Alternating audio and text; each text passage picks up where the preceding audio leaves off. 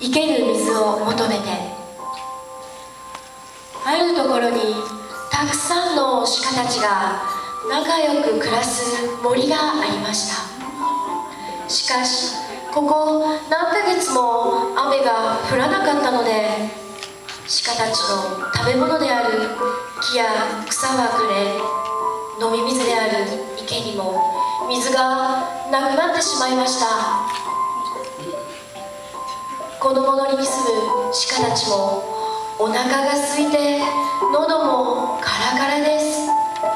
早くこの場所を出て新しい場所を見つけないとみんなが死んでしまいます。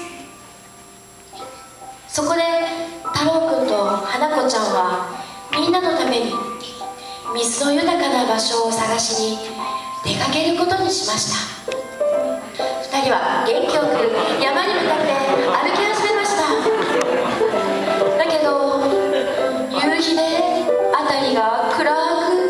でオレンジ色にごめんなさい。オレンジ色になる頃には2人はどんどん疲れてますます喉はカラカラになってしまいました。そこで2人はお家から持ってきたお弁当を食べることにしました。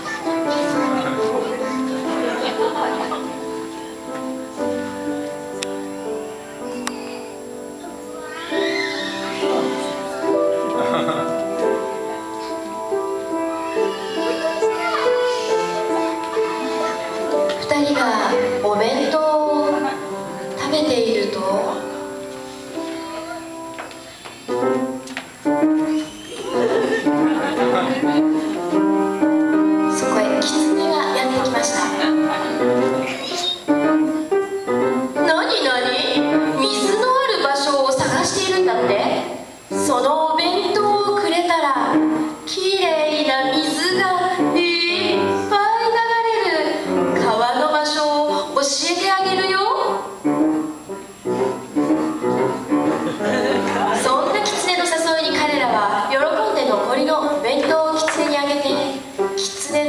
教えてくれた？道へ？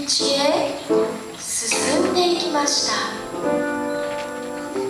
だけどいくら言ってもなかなか川は見つかりません。道はどんどん険しくなって辺りは暗くなってきました。